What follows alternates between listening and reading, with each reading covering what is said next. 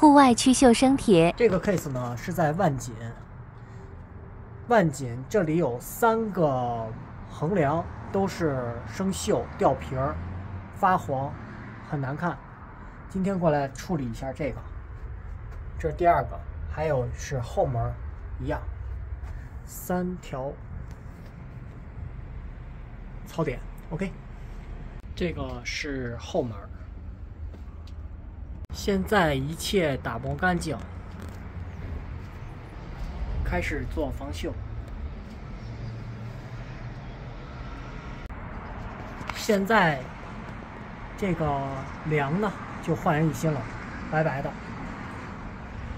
这边也是，做这个呢，还得需要温度高一点，阳光足一点，这样的话效率会高一点。